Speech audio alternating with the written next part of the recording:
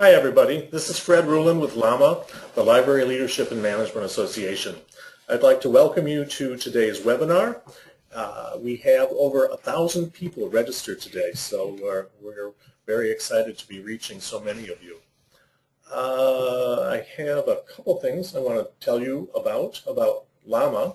First of all, LAMA's mission, for those of you who are not familiar with us, is to encourage and nurture current and future library leaders and to develop and promote outstanding leadership and management practices. Now the way that LAMA does this, for the most part, I'm trying to forward the slide here, ah, is through our seven sections. And our sections are really special interest groups within LAMA uh, of uh, librarians and other library professionals. And the sections are buildings and equipment, human resources, public relations and marketing, fundraising and development, measurement and evaluation, organization and management, and systems and services. So LAMA covers quite a variety of topics and special interests. And I'm going backwards here. Excuse me. For more information about LAMA and also our upcoming webinars, uh, just go to our website, www.ala.org slash LAMA with two L's, like the animal. Uh, and please feel free to contact me by email, fruland at ala.org. Have just a couple uh, housekeeping or technical issues today. Um, first of all, if you have any problems during the webinar, if you get kicked off of the webinar or having sound problems or a delay or something, call uh, for technical assistance 1-800-263-6317. That's the uh, Citrix GoToWebinar helpline. They should be able to help you. After the webinar, you will all get an email from me with a link to the recorded version. And feel free to share this with as many people as you like. Uh, and uh, you'll also get the slides and a short evaluation survey. And of course, we would greatly appreciate it if you fill out the evaluation survey.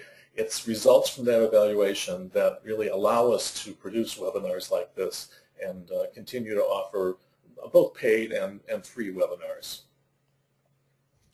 Today's topic is, as you must know, job hunting for today's libraries in today's job market. Our speaker today is Brian Keith, and Brian is the most, oh, I'm sorry, his title, I'll give you that, Assistant Dean of Financial and Human Resources for the George A. Smathers Libraries at the University of Florida. Brian is the most senior human resources and financial professional for the Smathers Libraries. This system includes 405 employees and annual funding in excess of $34 million. Brian's responsibilities include management of the recruitment process for all library positions, and in this capacity, he has led dozens of national searches for professional level positions. Additionally, he has a long and distinguished history of service to the profession, including serving as chair of LAMA's HRS Human Resources section and he has noteworthy accomplishments in research and scholarship.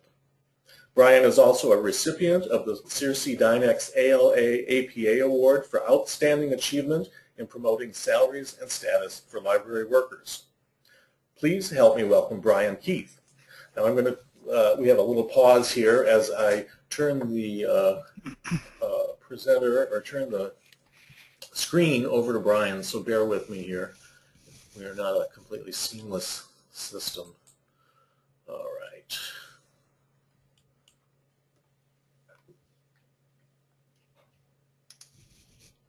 Let's see. Why didn't that work? Okay.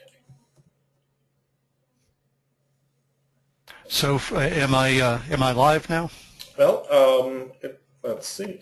Why don't you go ahead, Brian, and I will. You should be live now. Let's see. Okay. Hold on one well, second. All right. Okay. Are you getting a little thing that says you're the presenter? I did. I uh, I thought I had accepted it. Um, yeah, you are. We've got your screen here, so please go ahead. Okay. Well, I uh, I, I could not be more pleased uh, to speak to uh, to to the folks out there. Uh, I uh, I can't really add anything to Fred's introduction uh, regarding myself, except for uh, one of the real highlights uh, for me is the opportunity to um, give uh, presentations and provide uh, useful information uh, to to folks uh, either currently in the field or uh, pursuing positions in the field of librarianship. Uh, as Fred said, I'm the Assistant Dean uh, for HR and uh, Financial Services at the University of Florida. Uh, I, I thought I would reiterate and actually provide a link uh, to uh, where today's slides are going to be posted. They currently are available there. this is a permanent link and therefore the, the slides will be available. the reason I wanted to do this up front is um, to to allow people not to feel like they had to jot down a lot of information um, and so that you could actually uh, just kind of uh, follow along in the, in the presentation. Um, so these slides are available and uh, all of the links, and there are a lot of links in this presentation, all of those links are functional in the slides. Just to reiterate, uh, Fred's going to send you a link uh, to provide feedback on the webinar. Uh, one of the things that um, might be unique to the feedback that we're going to request is uh, your suggestions for things that might be included in a webinar like this for job seekers and also for you to provide your advice uh, to other people who are seeking jobs. Uh, and uh, we've asked for that when uh, I've given this presentation before, and, and some of that advice has found its way into the presentation you guys are going to see today. So I really ask that you uh, that you do uh, complete the feedback questionnaire. I, would not be doing my job as an assistant dean of the University of Florida if I did not provide a link uh, to where the UF libraries post our faculty and staff positions. if you were to follow this link, you would uh, see the positions we're currently advertising for and also information about Gainesville, the University of Florida Libraries, and human resources in the libraries. What we're going to cover today is uh, I'm, I'm, going to start off by giving you some overall advice, just kind of some overarching opinions and uh, observances that I have uh, to uh, improve your odds in uh, what is a tough market, particularly a tough market for people that are new to the field and seeking professional positions, and some kind of background orientation information that I think would be of use to you. Uh, I am going to cover uh, where uh, positions are typically posted for library positions, talk about search committees and hiring authorities, the job posting itself, uh, your application uh, materials, uh, how you might prepare for the interview, what you might expect in the interview, what to do after the interview. Uh, I have a whole section on references that talks about developing and coaching your references, and then just a few closing thoughts on improving your odds. I wanted to start off with a couple of disclaimers. Uh, the first is that, it, as you saw from the previous slide, there is a lot of material, a lot of ground I'm going to cover today. And I would I would like to spend more time on each of those topics. Uh, uh, the uh, I could spend an hour alone on on resumes. I think I could probably spend more time than that. Uh, but to make up for uh, kind of a, a, shortage of time, I've included links throughout the presentation to material that I think is relevant to those sections. And there really are too many participants to make this webinar as participative as, uh, as I would like. Um, we, Fred and I have discussed how we might uh, include the ability for people to ask questions, and it doesn't seem feasible. My examples are going to uh, draw largely uh, from my experience at the University of Florida, but I believe that uh, the examples that I use and the insights I offer uh, translate to other types of libraries.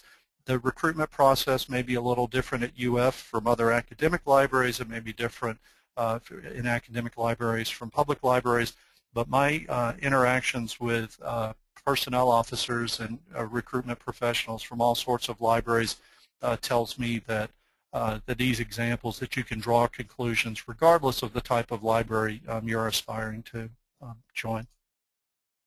And my fourth uh, is there really are no tricks. Uh, I'm providing you information and, and, and through the use of that information and, and technique, uh, I believe you will improve your odds. That's the purpose of me providing this information. But regrettably, there's no formula that I can offer you.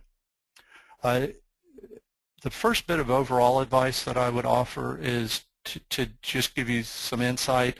this market, uh, there's less recruiting going on, uh, but the recruiting that going that is taking place is more deliberate in a number of ways. First of all, obviously, in selecting the candidate, um, the, the uh, also is uh, it, it, given the size of the pools, uh, this is a recruiter's market.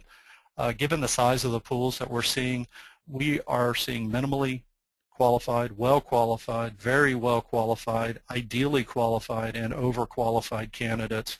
And we're, as recruiters, we're being deliberate uh, about uh, selecting from these different stratas. And we also, uh, for which positions are actually making it to uh, be posted, uh, we're not filling every position that becomes vacant and have not for some time. So the positions that uh, you will see are, have competed against other positions. Um, I wanted to provide, to kind of give insight into uh, the types of positions that are being advertised uh, by academic libraries.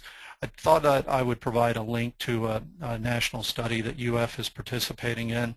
Uh, and it's uh, it, it, covers the um, uh, recruitment activities and the efficacy of those. But it provides uh, a list of working titles and specialists um, for professional library searches that um, that have, have taken place in the in the immediate past.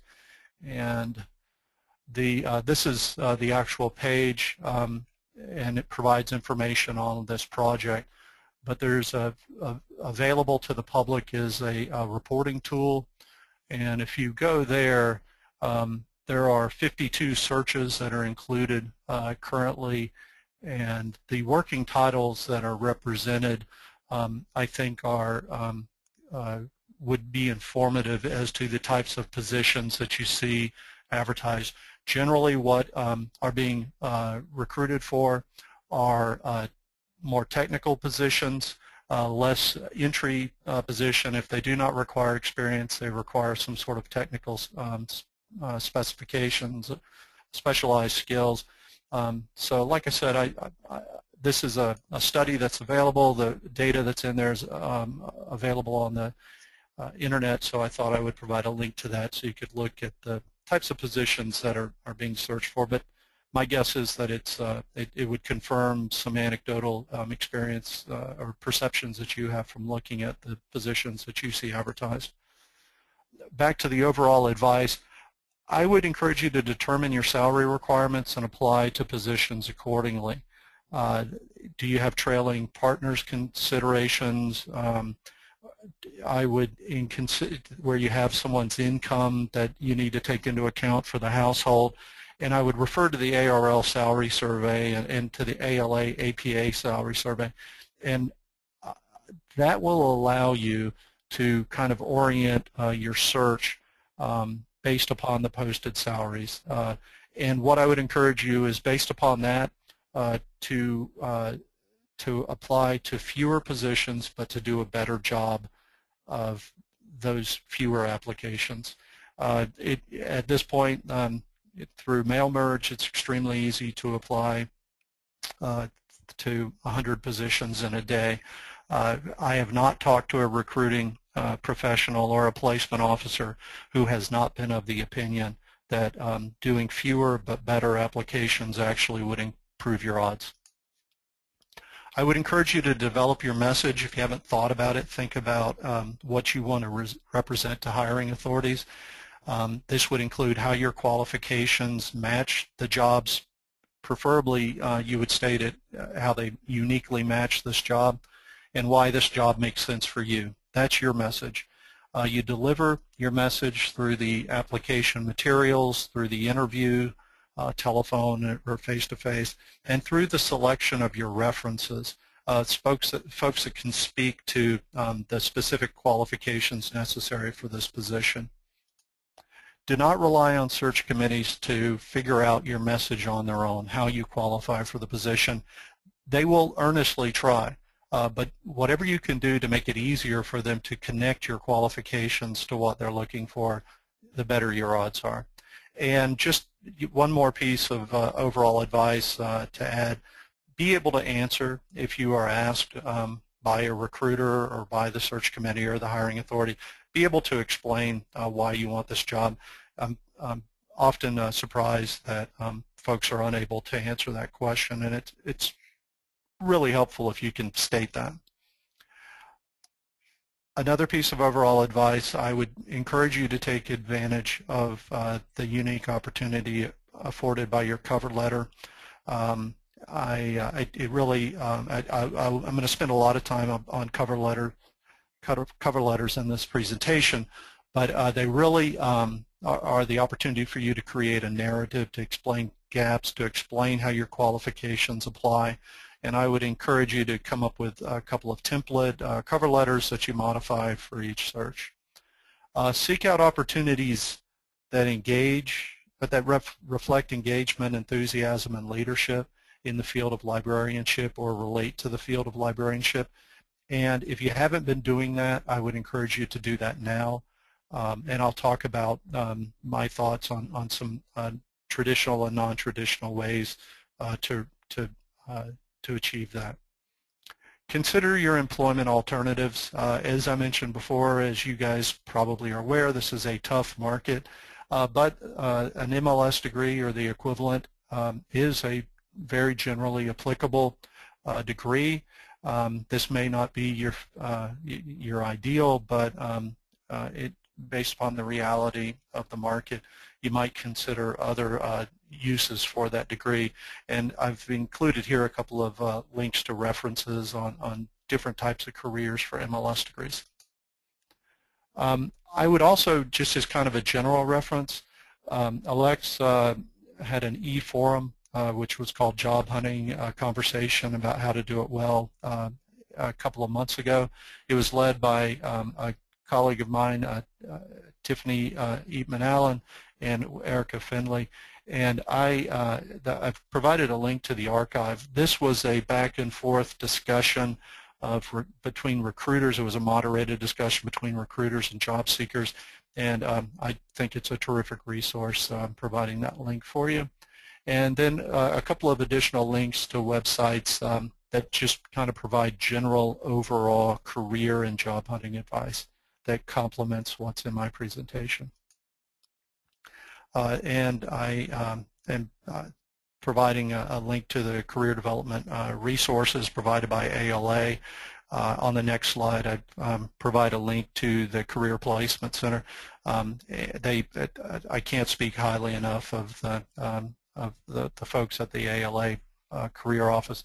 And uh, San Jose State University's uh, library school has a, a terrific uh, career development website um, that is publicly accessible, and so there's a link for that. Uh, and uh, very recently, uh, there's an ALA publication uh, that uh, came out, which is a librarian's perspective that I, I think is a, a, real quality work. I've provided a link to that, and um, to again to the ALA Placement Center. The, the types of services they provide at Midwinter, an annual conference for ALA. If you do uh, go to those conferences are excellent, and this link uh, provides information about uh, uh what, what they've provided at past um, uh, conferences. And last uh, but not least in the references, I have included a, what I think is a really interesting study that was funded by an ALA grant about the hiring of non-MLS librarians into professional positions. Um, the um, I can tell you that the MLS is still critically important, but besides that, um, there's a lot of inf interesting information on the perspectives of directors and um, uh, on uh, the the value of uh, and the uh, the importance of an MLS degree in their recruiting from both public and, and academic uh, libraries. Uh, where are positions posted? Uh, I think they fall into some uh, broad categories, uh, regional uh, uh, and consortial sites, professional association, and then employer-specific sites like the University of Florida Libraries or the University of Florida webpage. Um, and then a lot of posting activity takes place through the electronic mailing lists of different associations or different um, specializations. Um, some of the most common uh, are the uh, ALA job list, uh, the Chronicle of Higher Education for uh, academic libraries, um, LibGigs, uh, lisjobs.com. Um, there is there are a couple of sites that provide lists of uh, of, of, the locations where library jobs are posted. I've included those links. I I hope uh, that those are helpful to you in, in orienting where to look for positions. And then uh, again, the uh, academic libraries recruitment study that I, I showed you earlier, um, it includes a, a, lot of information on where uh, libraries are posting positions. Um, there are some uh, really nice uh, kind of tools that you can use to manage your search. There are there are aggregators um, and uh, that will uh, uh, help you collect information and RSS feeds. Um, I'm sure there are others, but here are two that I'm aware of, and they allow you to to become aware of, of vacancies as they're posted. Uh, what you need to know about search committees. The first thing is uh, that selection is the process of weeding out. Uh, every search when we start it the overriding concern of the committee is will we have enough applicants? And then as soon as we begin to receive dozens of applications, uh, they uh, kind of focus on the job of sorting them out and weeding them out and getting it down to a manageable list. And we are uh, getting bumper crops of applications. Uh, the assessment of qualifications in order to weed out um, falls into two categories, what's measurable and what they have to use their judgment and inference for. Uh, measurement would be if there are years of experience that are, are a requirement for the position, uh, they would be able to uh, hopefully clearly see that in your resume. Uh, there are other things that they have to uh, kind of infer. Is this a good colleague? They want someone who's collegial. Is this person inventive or flexible? Um, and so I think as you keep in mind um, your application materials, um, I would not spend as much time in my cover letter talking about my years of experience as I would in trying to communicate uh, the, these other kind of things that they're going to have to infer. There's a limited means available to the search committee uh, to learn uh, these different things that they're looking for. Uh, first of all are the documents they are clearly critical. Uh, the other are the references that you choose, and um, I would be extremely deliberate in uh, selecting the references, and, you, and I assume that you would have different references for different positions depending upon uh, how depending on how narrow your um, your search is. Uh, they have the interview sessions clearly, and they have the presentation that people provide. Um, I have a little note in here says do not underestimate estimate the importance of this. It's the part of, if, if there is a presentation required as part of the on-site application, it's uh, likely to be the most heavily attended session. Uh, and I spend some more time later in the presentation uh, with some more specific recommendations for presentations. They also can judge by your interactions with staff, um, both verbal and nonverbal. So, you know, when you think about uh, what's covered in your CV or, or your resume or your cover letter, I would think about how these how these other elements, what part of your message about your qualifications you want to get across. Because if you think about it, it really is difficult for a search committee to do their job and, and to um, arrive at the information they need to select. Uh, search committees, uh, my experience has been they are conscientious. Uh, they're quite likely to be intelligent. Um, they are likely to have a stake in the position and therefore the outcome of the search, but they are most likely not very skilled or experienced recruiters. Um, and so, again, I would not count on them to uh, derive from a long resume uh, some piece that you could state in a sentence in a cover letter. Uh, this goes back to the putting them in a position to be successful. Uh, the job posting uh, is uh, obviously uh, critically important, and I encourage you to uh, to read it and to assume that every part in it uh, was was put in there with intention. in reading it, I would first assess: Is this interesting to me? Are these the sort of responsibilities that I would have? But then I would spend um, probably the, the, my decision as much as that about whether to apply would be based upon how my qualifications match the requirements of the position versus the preferred qualifications. So there is a distinction, and uh, required qualifications uh, in most employers will mean the person has to have that in order to be considered for the position, and they have to have those required qualifications as stated. The preferred qualifications allow uh, the employer to distinguish between uh, the, the, the, folks that are qualified.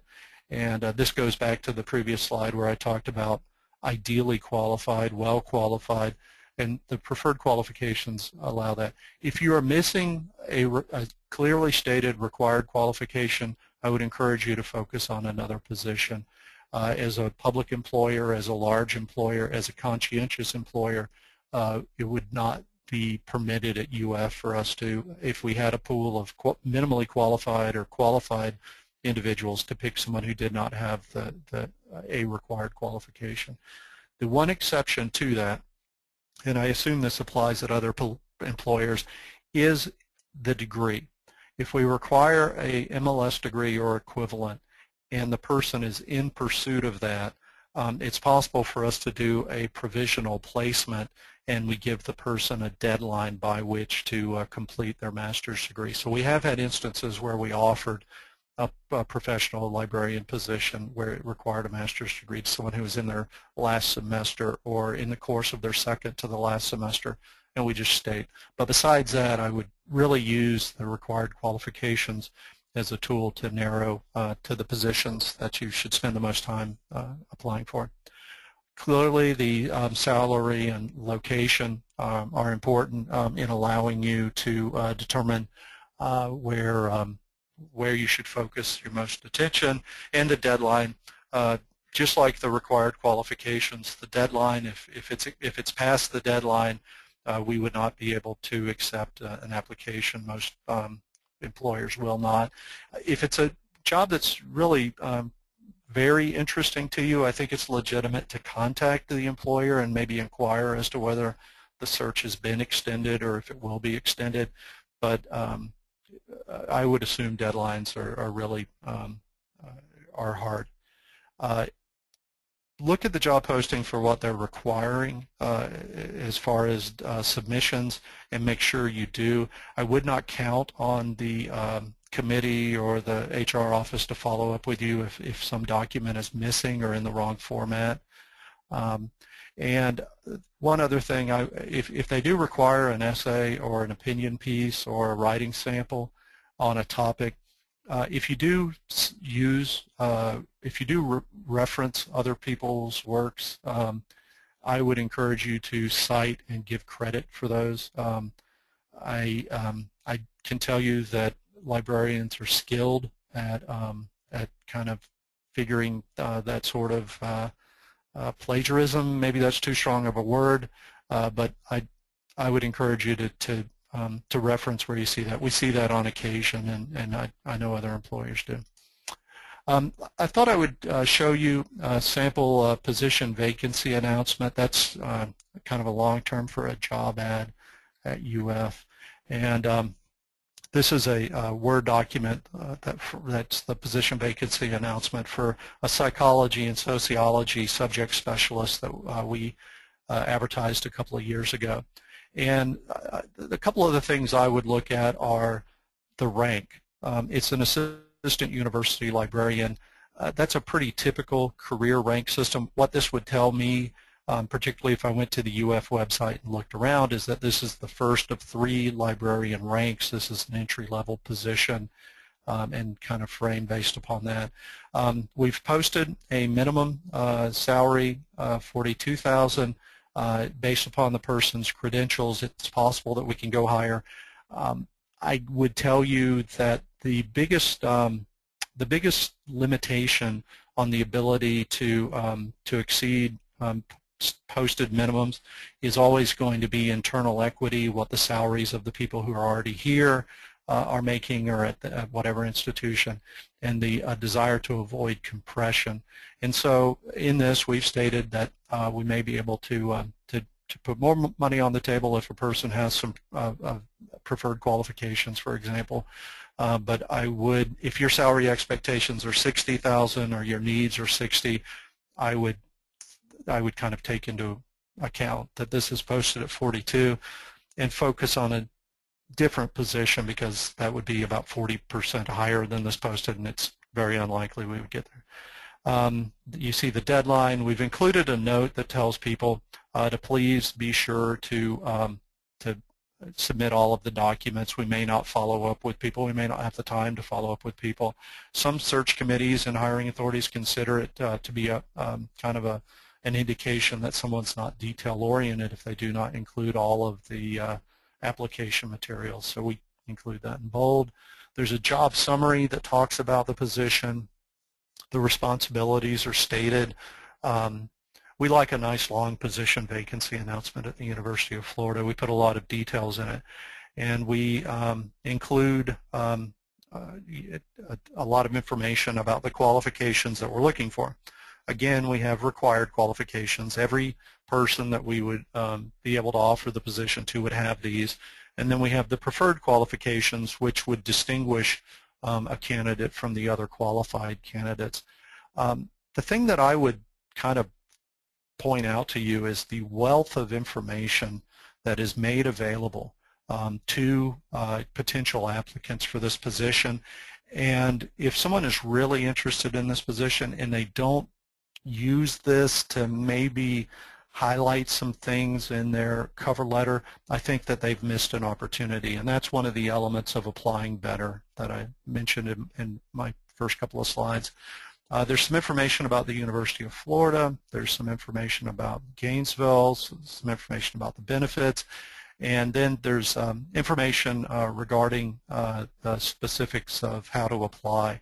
And um, it indicates that we prefer an MS Word or PDF format, um, that uh, we would like a cover letter, and we kind of give people a hint that we're at, that we would like other than please find attached my resume and references, that we would actually like people to explain to us why they're interested and how they feel they're qualified for the position.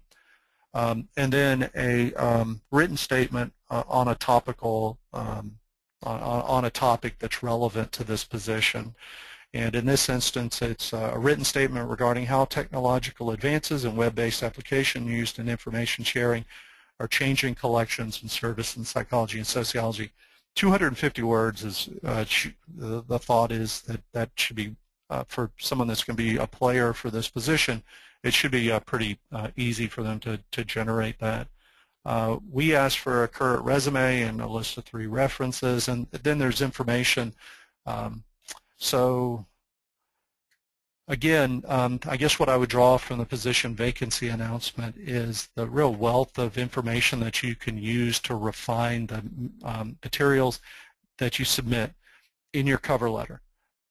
But I understand that you're going to submit dozens of cover letters, if not more, and you're not necessarily going to want to really modify every um, cover letter. But if you make it to the phone interview, I would go through these and highlight and, and consider how my experience matches these specific qualifications and not rely on the search committee and help them uh, connect those dots. And maybe some of it's not obvious, and maybe some of it you're using experience in a different industry. Um, so I, I really would encourage you to, um, to, to take advantage of the amount of information, uh, the cards that are shown to you by the employer. I would also um, suggest, if it's not obvious, that um, if you go to a place like the Chronicle of Higher Education where we post our jobs, you will see, see the short ad. And that's a, a you know, a representative uh, piece of the position vacancy announcement but they charge by the word, so by definition it's not going to be the full four-page position vacancy announcement. So if you see a position, you may want to go to the institution's website, even if they do not provide a link in the short ad, and see if a full ad's posted. Again, just because information is power, um, it would give you more information to uh, know how to present yourself most effectively. Uh, consider your application it, it really is your representative to the screening committee, and in some instances it may be the only thing they see. Um, so I would encourage you to really cull through it, um, tailor these documents to the information and the posting uh, to the extent that's feasible. Uh, again, maybe come up with multiple templates. And I would explicitly state how you're qualified for this job. Uh, that will improve your odds, and that's what you need to do in this market. Um, how is your submission used um, by the search committee? Um, at the University of Florida and at other institutions, we use a criteria chart. That's the term that we use for it. And it's a way of us organizing the information that comes in from the potentially dozens of applicants we may have for a position. And I'll show you a um, anonymized example of the criteria chart that was used for the psychology and sociology uh, librarian position that we just looked at the PVA. And so if you look at this, uh, you will see uh, where the candidates' names were. I've anonymized it um, by putting Greek letters, and this continues on. Um, there were a lot of applicants for this position.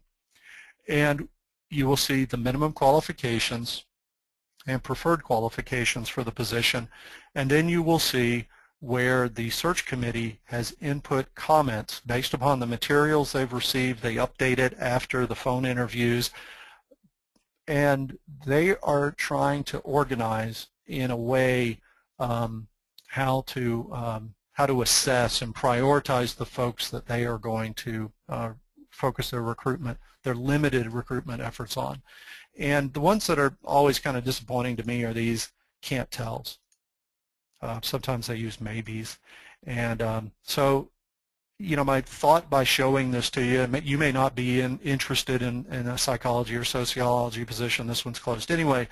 But to tell you that search committees are conscientious and they in hiring authorities, and they are even if they're doing this in a, in a less formal way, the easier you can make it for them to understand how your qualifications match these, the better.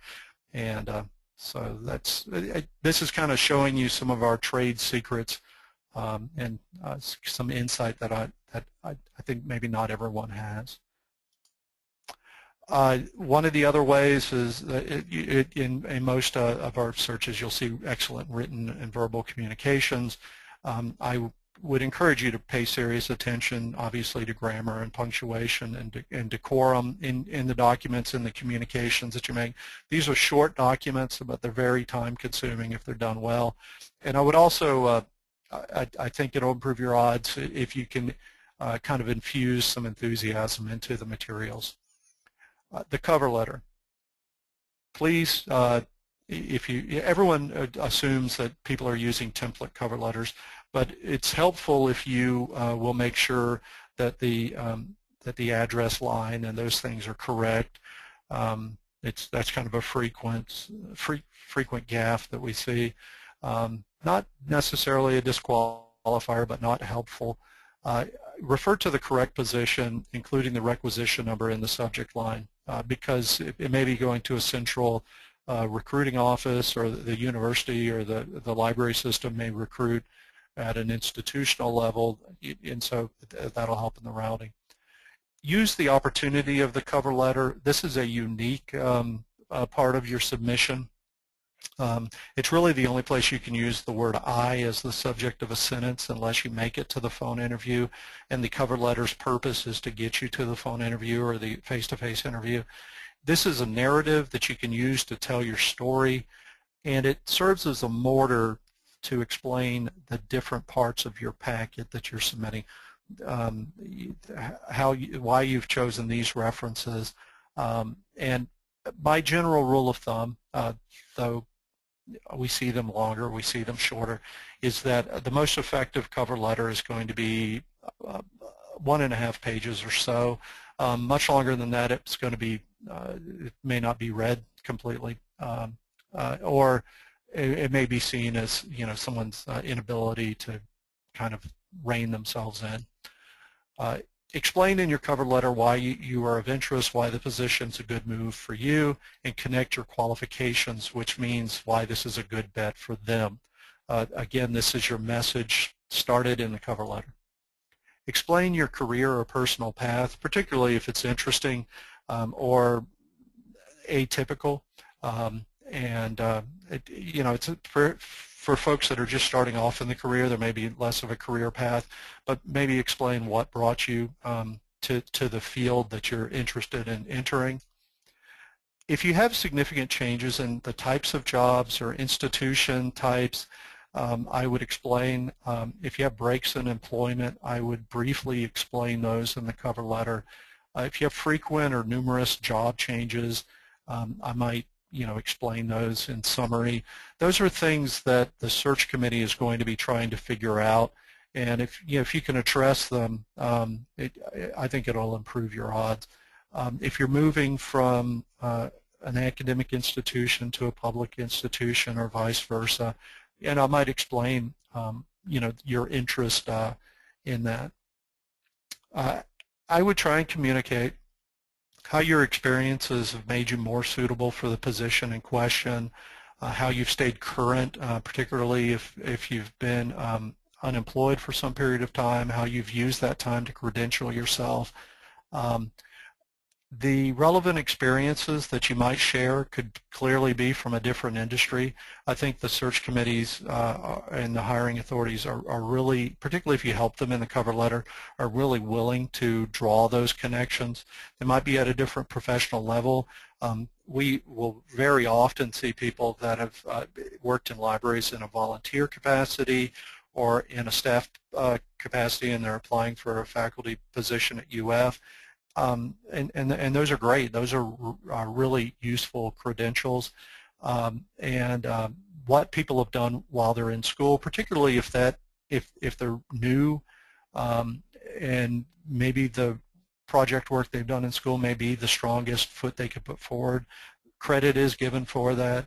And uh, also through your service to the profession, if you volunteered, in a student chapter or in, in some other um, uh, profession, relevant professional or organization.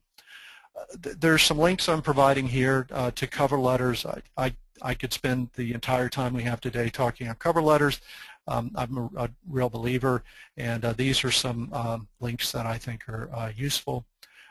Next, I want to talk to you in, as far as your applicant submission the difference between a CV and a resume, um, this may be obvious to some folks, it, it, but it, uh, so I'm not going to spend a lot of time, though we could spend a, a, very long time on the topics of CVs and resumes.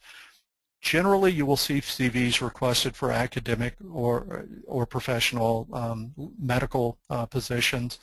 Uh, and the resume is the more typical for businesses. If you are in school now and or in or not, and, and you're interested in uh, um, moving towards an academic um, uh, institution, I would encourage you to go ahead and work on a CV while you do not have a deadline in mind and uh, begin uh, cultivating a CV. Uh, you will see it commonly asked for, um, becoming less commonly asked for. At UF, we ask for a resume. We will often receive uh, CVs uh, from folks who are coming from other academic environments. Uh, what is a CV? It is a, uh, a complete list of employment, education, trainings, presentations. The webinar I'm giving today will appear on my CV. All of the publications, professional memberships, grants, whether uh, applied for and awarded or applied for and unsuccessful, fellowships, uh, professional awards and honors folks have received. And a resume, I think most people are probably more familiar with those. Uh, they will talk about education and employment and awards and accomplishments, but it's going to be uh, much briefer and, and typically in uh, bullets or sentences. A CV can really be unlimited. Uh, I believe my CV is 16 pages. Uh, my resume is two pages. Uh, when I became a, a HR professional, there were some of us who were trying to stick to one pages. That's pretty much gone. but I would I would encourage you to stick to a couple of pages. Um, the CV is a list of lists. The resume is a list of accomplishments, including facts and figures and measurements and uh, amounts of budgets managed, those sorts of things. One of the things that I would encourage you in a CV if you produce it, and as a, in a resume if you can do it uh, in a way um, that is uh, effective, I would encourage you to um, uh, maybe include hyperlinks uh, because most places are going to receive these electronically, and particularly in a CV, Um, if you have your presentation or your poster posted somewhere, um, it's really a, a useful way of, of kind of getting, a, making it more available to the hiring authority again, I could spend uh, a, a, very long time on CVs and resumes, and time doesn't permit today. Uh, but here are some links uh, from some sites that I think are, are uh, provide good uh, information that are publicly accessible, and I encourage you to um, take a look at those if you're interested. Uh, some thoughts on communication. emails. in case this is not obvious, um, and we're seeing less of this. Uh, it seems like people have become more sophisticated in this area. You may have a hilarious email uh, address that you use for your own personal uh, correspondence. I would encourage you maybe to get a, you know, a, a more standardized Gmail address. It, it, again, this isn't going to be disqualifying, but uh, that's a bit of advice. And I would also treat emails as professional correspondence. Uh, people will disclose or uh, behave in emails in ways that they would never in a print letter. I would encourage you to rise to the level of treating this as um, uh, the same way you would on a, printed letter on a letterhead. Uh, is your voicemail message suitable for potential employers? Um, folks may you may be known as the person with the hilarious uh, voicemail messages, and uh, but your uh, friends will understand uh, if, if you have to come up with kind of a boring one while you're job hunting. In telephone interviews, um, I, I really think this is a medium that where the field is entirely slanted to the advantage of the applicant. Uh, by taking advantage of the medium, what I would mean is if you were applying for that psychology, sociology position that I showed you before, if you did not have the PVA um, open on your desk with notes in the margins next to those required qualifications, if you did not have your um, resume or CV in front of you uh, for you to reference, you know, quickly, if you didn't have those things, I really think you would you would be um, giving up a, a, real advantage. The other thing is have a beverage, um, kind of commonsensical, um, and uh, do not multitask. Um, I've heard more than one search committee comment on the fact that they could hear the person typing uh, while they were trying to conduct a phone interview. Again, maybe none of these things are disqualifiers, but they're just not helpful. Uh, an online presence and branding, um, uh, most all of us have those, whether we think of them that way. Use them in a way that distinguishes yourself. First of all, your social networking. If it if it's social networking, I would control the access. Um, you can uh, sign up for Google Alerts uh, based upon your own identity and as information, uh, it's, it's, Google finds information or information's posted, um, you'll receive alerts. Uh, SlideShare and Scribd are both ways to share um, your uh, productivity and to kind of begin to establish a presence for yourself um, where you can share documents and slides and, and um, get your name out there, have something for people to, if they Google where it comes up for something that's scholarly or represents your engagement. And then participating in listservs, joining listservs, and also you know commenting, um, having your name um, out there, whether you're new to the field or you're establishing a reputation for that next position. Um, I would encourage you to do that. Uh, there's some links that I've provided here uh, on the, the concept of online presence and branding that I hope might be of use to you in preparation for the interview, uh, the, the tried and true practice, role play with somebody, many people um, are um, uh, uncomfortable talking um, candidly about their strengths. Uh, this is a unique type of conversation, interviewing, and so I would encourage you to get over that and also get good at it. Um, and um, practice discussing and addressing weaknesses. Um, if they come up, you want to be able to um, speak to them directly. There are innumerable lists of common interview questions and you're likely to hear them. Uh, I encourage you to, to, to kind of prep on those, think about what your answers would be. Uh, assess uh, where your strengths and weaknesses are. Focus on the weaknesses um, and improving those. And as you go on interviews, um, you may only go on one interview. I hope that's the case. But if you go on multiple interviews, kind of assess, wow, I wish I had answered that question differently, or I wish I wouldn't have asked that question. Self-assess and learn throughout.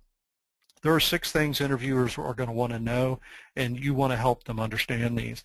Do you have the necessary skills we tell you what those are in our position vacancy announcements. Do you have things that we can't train and that we need you to come in the door with?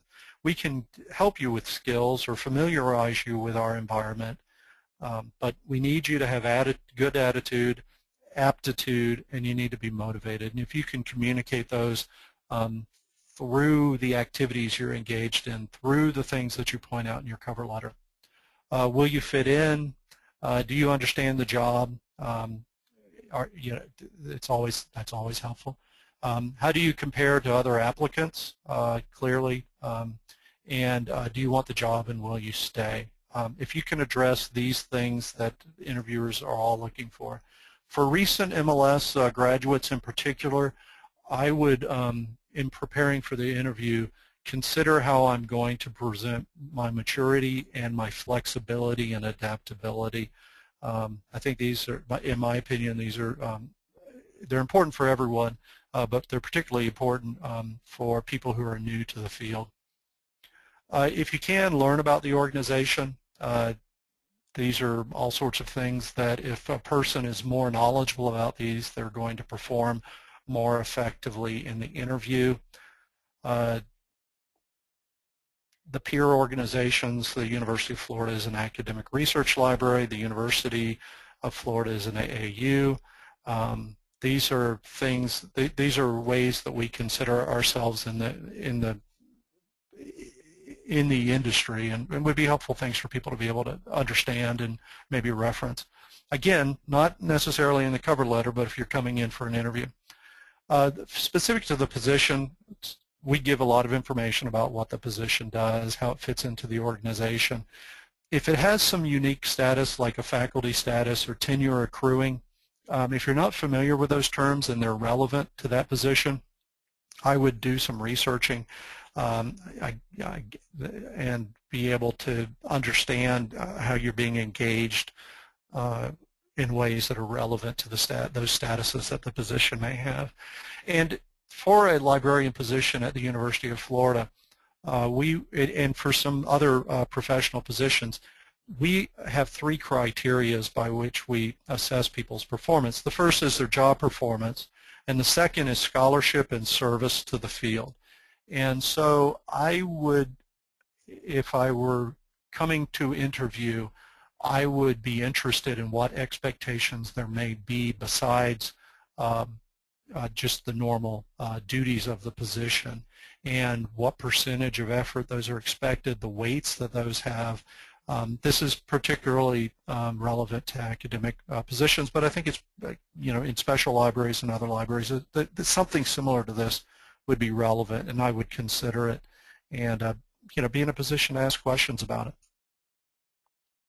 Um, I would prepare questions to ask, um, and as you encounter folks for whom they would be relevant, I would ask them, why is this position available? Is this a new position? Uh, expectations for the position from various stakeholders and the opportunities uh, for advancement. If you can get the expectations for the position communicated to you uh, and then can respond in ways in which it makes it easy for them to understand how you would deliver on those expectations, that really is a, a key thing for you to achieve. Uh, as far as additional questions, what are they looking for as, as far as candidates, attributes? Um, again, if you can get uh, a, a, interviewer to provide that and then uh, follow up with it. Um, uh, with how your qualifications connect to those. I think it's that, that again improves your odds, and that's what I'm trying to help you do. Uh, the um, some questions that you might have, I would have a, a series of questions just because uh, the, the, interviewers may be introverted people. They may not be skilled interviewers.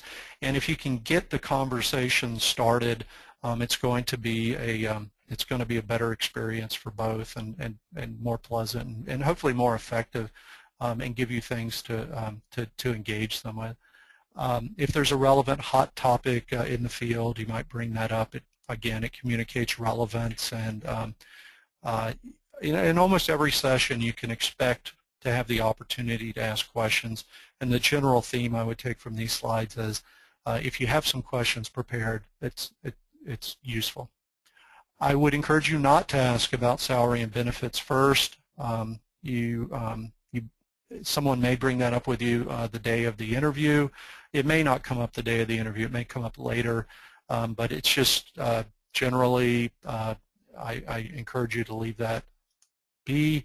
And then I would balance your enthusiasm for professional development activities. Uh, if you are coming to a place like the University of Florida, where uh, scholarship is a requirement of the position, there's a balance, particularly if you're coming from an academic background or a specialist background and are just completing your MLS or you're, you're entering libraries, the person that's hiring you is likely thinking about uh, reference desk shifts or um, instruction load. And they also want to know that you're able to, um, to handle the other criteria, the other elements of the job, but you want them to understand a balance and that you understand a balance. I think this is particularly true uh, for folks that are coming from uh, from academic positions or other specialist positions and are new to libraries uh, for them to understand that it really is a service center. So that's what I mean here. Um, if people do not tell you before the interview, um, again, these may not be skilled. Uh, uh, these may not be skilled interviewers or very experienced interviewers, or they may have gotten rusty because they haven't done very many interviews recently because of the uh, fiscal environment. If no one, if you're flying in and no one tells you uh, how you're going to get around, I would ask. If you are responsible for your own transportation, just to reduce stress for the day of, I would stake out where you're going to park, and particularly at UF, uh, it, it, because parking is so difficult, and in metropolitan areas. Um, and if you have special needs, I would communicate them. Uh, it's often people will ask me, when should I communicate that I have um, special needs or requirements? And what I mean by special needs, uh, those could be um, physical needs. Um, they could also be religious observances. They could also be um, uh, some, some sort of uh, family needs uh, where a person uh, has a, a, child that's still uh, that is breastfeeding. Um, whenever those are relevant, I would communicate them. Whenever they're going to have the um, wherever they might be an issue that makes it more difficult for you to present yourself in the most favorable light um, or to, to, to, compete for the position, that's the relevant point. And I think that you will find um, recruiters and hiring authorities and libraries to be very respectful of these needs and very accommodating. And all of those examples I provided before, we routinely accommodate for folks. So but particularly uh, as you're preparing for an on-site interview, I would communicate any needs you have, uh, and, and, those might include dietary um, uh, requirements. Uh, learn who you will meet with. If an itinerary is not provided, um, you, you, uh, it's completely legitimate to ask for one. Um, and if you're interacting with an HR office, if you recall from the position vacancy announcement I showed before, uh, that had um, contact information, it would be completely appropriate and pretty routine for people to, to make inquiries um, to us, though we do provide an itinerary. Um, make some assumptions as to why individuals or groups are on that schedule. They're all placed on there deliberately, and I would think about what you can get from them and what you want them to know about you after that session. And I have a simple sample interview itinerary uh, for the um, psychology and sociology um, position that I've been using as our example. Um, so our uh, interviews are full days. Um, the, um, uh, th they begin the day with a search committee typically. Then they would meet with the humanities and social sciences uh, faculty and staff of that branch, which is called Library West at, at UF. And uh, then there's a time for them to prepare for their presentation. Uh, we have an hour uh, set aside on uh, for the presentation, um, and that would include time for Q&A. Uh, there's lunch. Sometimes we'll um, specify who's going to the lunch if we know it uh, at the time we're developing this. And then there's a meeting with the chair and the associate chair of that branch with uh, one of my colleagues um, who works in employee relations to talk about benefits and those sorts of things. Uh, there is a meeting with just the humanities and social sciences librarians and with the library deans, a representative of the T&P committee, tenure and promotion committee, and a tour of the library itself. One of the things that's um, not on this um, as a specific session, but one of the things we might see uh, for a subject specialist would be a session with uh, members of the academic department uh, on campus, the members of the psychology or sociology department. Psychology is one of the largest, sociology is one of the largest on campus. And so we'll often have uh, those sessions. And so what I would do is think about, break this into sessions and what questions I might have for folks um, that are different and um, and where these where the folks that would attend these would overlap and um, try and just think about what you can learn and what you want to communicate as I said before. Um, if there's a presentation, uh, solicit reasonable information about it. What is the, uh, who will be in the audience? If you're going to have handouts, how large is the audience? If you're not going to have handouts but you want to um, engage the audience, how many people, it, it's much easier to engage in some exercises 15 people than rather than 50 and vice versa also try and determine what their expertise level is so that you're speaking to them and you don't you do not seem too rudimentary or too complex. Um, what we most typically might see is is like overly uh, rudimentary. But uh, those are legitimate things for you to either ask the search committee about or for you to ask the HR uh, department that contact and they can try and find that. Um, if you have questions about the topic, um, that where you need clarification. Um, those are legitimate questions. And then also the media, uh, what sort of software will be used? Um, is there just really anything that's relevant? And again, if you have if you have some needs uh, that need to be accommodated in that area cover the topic uh, that's asked for, and you might want to repeat the topic uh, in the beginning uh, or incorporate it into early on into your presentation um, so that the people in the audience are, know specifically what you were asked to talk about. But be sure to cover that topic. Um, if you can, uh, try and incorporate relevant information about the institution that um, shows effort, it shows interest, uh, it shows all good things. Uh, clearly practice, and be prepared for technical glitches. Um, that they we try and avoid them, but you know how you might address those, like having a printed copy of your slides, obviously. So if worst case scenario, you just have to read and tell people uh, what they would have been seeing. At least you're able to to go forward. Um, as I mentioned before, I just I can't tell you um, how important the presentation is. My own personal feeling is that it may be um, overly um, weighted in the recruitment process, but it's a very important thing, and I, I encourage you to uh, take it seriously. After the inter, uh, uh as far as the interview, the, the, the, again, this is general information, and and and there's uh, plenty of information available, and I have some links I'll show you as far as your appearance, it's always better to appear fresh and rested, alert. You can relax because your talent got you to that point. You should listen um, and respond to uh, questions and, and, and uh, draw conclusions and engage in, a, in, in an active conversation. My advice is do not smoke or smell like smoke. It's my presentation, so it's in here. Um, that may be the most controversial bullet in this whole thing. Uh, I would encourage you to dress for the position and lean towards conservative. Um, learn people's names and positions uh, whenever possible.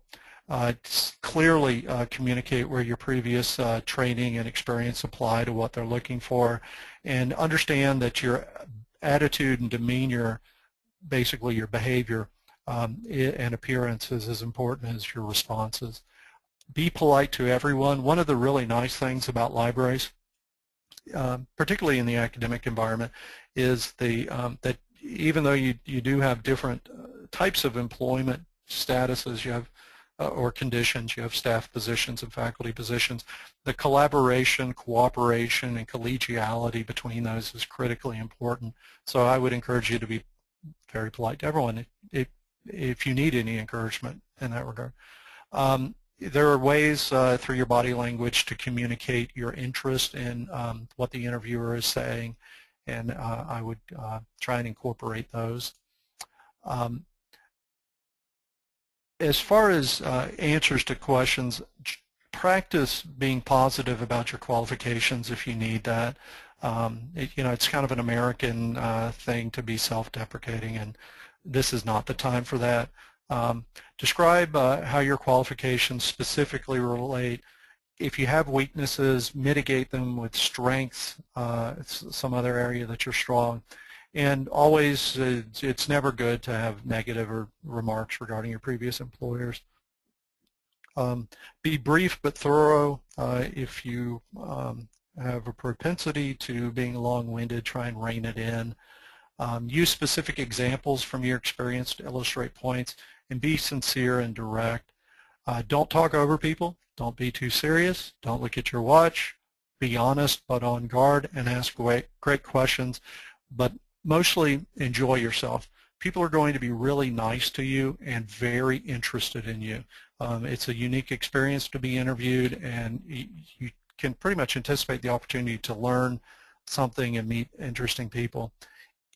I would encourage you in the interview to, um, if you have issues with gaps of employment, and people are very understanding of those, demotions, people are generally understanding of those, terminations, those are harder for people to understand.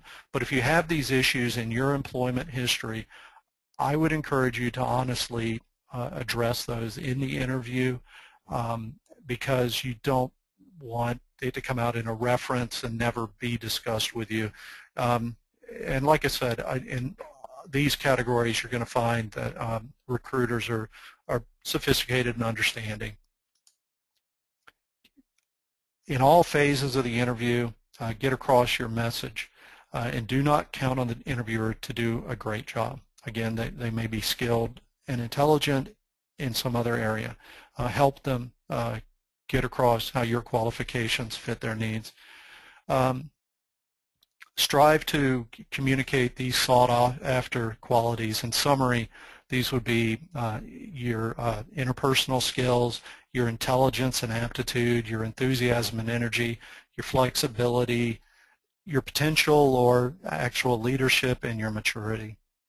Uh, there's uh, there are tons of uh, uh links out there. These are some that I um, thought were actually good and would be of use. Um, and there's a long list of them. So after the interview, you've completed the interview. Um, should you follow up with a thank you letter uh, or email, more likely, or a card?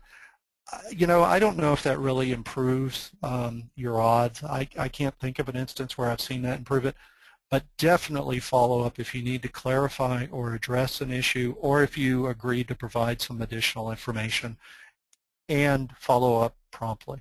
Um, I don't know what you would need to clarify or what issue might have arisen, but th those are instances for sure uh, follow up. Uh, in anticipation of an offer following the interview, consider do you want the job. If you know that you're not interested in the position, I think it's a good faith thing to tell people. Um, but uh, you know, I would think about it, and then based upon that, I would consider how much you need, uh, what you think the fair uh, salary is for the position, and if you have partner considerations. Um, I would, um, if you're going to, if you're applying to a larger employer, particularly a university, and uh, you think that they may have trailing spouse um, uh, programs, I would probably bring that up um, in the interview itself, but certainly you need to consider that um, after the interview and, and how that um, flows into you know what your what your offer needs to look like. I would strategize um, as to how I would negotiate my salary. I would reference the salary surveys, but I would also reference those um, qualifications, and I would consider um, instances where you exceed the minimum qualifications where you have those preferred qualifications where it requires a master's degree but you have two master's degrees. or you have a, it requires a master's degree and you have a PhD that's relevant, or you have more service, for example. I would encourage you uh, to um, be able to, to use those as specific things you cite if you attempt to counter um, the offer.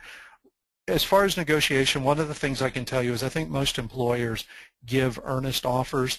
Um, few of them hold back to see if the person counters. And the primary reason for that is, um, particularly for public entities, but for most entities in general, the person's likely to find out what other people are making when they come to work there. You're interested in paying people fairly because you're hiring for a long term, and you do not want them to find out later that you know that they're paid you know disproportionate to other folks um, at the institution. Uh, I would think I, I, am sometimes surprised by the apparent lack of thought that people have put into a couple of things in anticipation of receiving an offer. And one of those would be when could you report uh, to work? And so that the factors in that obviously would be notice to your current employer, how long would it take for you to complete school, um, and uh, the completion of school I think is one that you would probably see come up in the interview. Um, and particularly in the interview or at some point it, it, in the cover letter. Um, if you can, if you have one more semester of school and you're able to do that remotely somehow, I would clearly communicate that because um, you don't want that lack of knowledge to be a deciding factor that this person could show up potentially sooner. Um, and then other personal arrangements you might have. And we will, um, when we offer librarian positions and, and professional positions, and uh, we will typically give people extended periods to report. Um, our thought is for the right person, a couple of months or uh, maybe even longer is not um, is, is, is worth it's a sound investment. So if someone has a child that's in school and they want them to complete that year, you know, depending upon how far we are into the year, or if they have an important assignment or they've committed to being part of the curriculum of a program, uh, we'll, we'll, we'll permit that. So I would, I would think about those. Um, and is there some other information that you need? Um, benefits, relocation assistance, if it hasn't been discussed, and then trailing partner assistance. I encourage you not to bring up trailing partner at the very end. Um, I, I, you know, at the point at which you've received an offer, I would bring it up earlier. I think you'll find uh, most employers are very uh, interested in, in understanding uh, uh, that they need to um, be supportive. Uh, for references, um, I've got a, a, section on references because I feel they're critically important. Um, select according to what the search committee is looking for. What does that mean? Well, if the position requires, uh, or if the if the responsibilities of the position include supervision, and you have supervised in the past, but it was some time ago or it was in a different industry, that may not, a reference that can speak to that experience may not be your standard reference, but for this position, you might want to include it as a reference. Um, so uh, I, I would also consider references a resource that you need to cultivate and to engage people that would serve as good references through your current employment or, or through your school um, or through professional service and affiliation and, and folks that you meet networking on uh, through professional associations. When you are going to use somebody as a reference, I would let them know um, that you, you've had a phone interview and they're likely to be contacted um, or at some point prior to them being contacted so they understand who's calling them and, and what. I would provide them with a current uh, copy of your resume that they can use for their reference. I would share the cover letter that you provided and the job posting. And I would tell them why you picked them, which means what part of your experience you think it's important, most important for them to address. And I think references, um, generally they're going to be used because they're successful people, they're people in positions of standing. I think that they will appreciate the, the advice because they want to be successful and they wish you well and they want to help you, so they would welcome the coaching. Current employers as references, it is fine uh, to request that your current employer, if you, if you provide it, that they not be contacted unless you're a serious candidate or with some advance notice to you. Uh, I if it specifically says that they need a current employer, I would provide it. Um, generally, I would encourage you to provide current employers and just you know communicate to people um, in the email that includes your cover letter and your references and your resume uh, that you would appreciate this courtesy. But I will tell you, most employers are going to understand and support um, that you're seeking advancement. I would encourage you to credential yourself now. This is the kind of what do I do, what can I do if I have some time. Um, and I would seek training and, um, uh, and, and, leadership and professional services opportunities specifically. And I would use those to build your competencies for where you want to be, um, prepare for that next job, keeping yourself fresh and relevant, uh, demonstrating your interest in the field, your engagement in the field, aptitude and ability if you through some sort of uh, service or leadership on a, on a, on a project you can demonstrate um, your aptitude and ability. And these also serve as opportunities for you to network. And um, you know our sponsor LAMA I think is a, is a terrific um, opportunity uh, for folks through the mentoring program and through other programs uh, to engage in that. Some examples, and I've already given you some of these would, of ways to credential self would be to lead a student group. I would take papers or blogs and convert them into scholarship. Um, attend professional meetings or discussion groups, networking, but also learning. Um, and uh, I would attend conferences if, if feasible for you. And I would I would encourage you to join professional associations like ALA and divisions of ALA like LAMA. Incorporate these experiences and accomplishments into your application materials, particularly your cover letter. Mention them obviously in your resume, but indicate how they're useful in your uh, cover letter and in your interviews and uh, use these to distinguish yourselves from other folks. Um, Fred's already shown you some information on, on LAMA and provided a uh, link. I um, am also going to do that the um, and where I'm going to take you is to the Join LAMA page. Uh, this uh, webinar is, is uh, largely uh, geared towards uh, folks that have recently or, or will soon uh, complete an MLS program, though I'm, I'm, glad for anyone else to have attended. Um, included on this page, and there's a link in the slides to get you to here, is how to apply for membership. And ALA student members, the cost to join um, uh, LAMA is, is only $15. And um, I can speak to you personally about my experience. I've been in libraries since 2005, and my experiences in LAMA, and, and there may be another division that could could provide this to, to folks also. But my experience and my affiliation uh, through LAMA has not only been personally uh, and professionally rewarding um, and um, expanded my understanding of, of, of the field, um, but it also has uh, the, the opportunity to network and meet other people who are interested or engaged in the same things as I am has been invaluable. So I really encourage you um, to credential yourself through joining a division of ALA. I would encourage you to consider joining LAMA. Again, um, there's all sorts of things uh, geared towards folks who are new in the profession, such as mentoring, and there's a real interest in uh, connecting um, interested new members with uh, service opportunities on, um, on different committees. Um, an additional helpful link uh, that I want to provide is uh, an article that I saw in the Chronicle of Higher Education online that is uh, geared towards uh, folks who are first time on the market.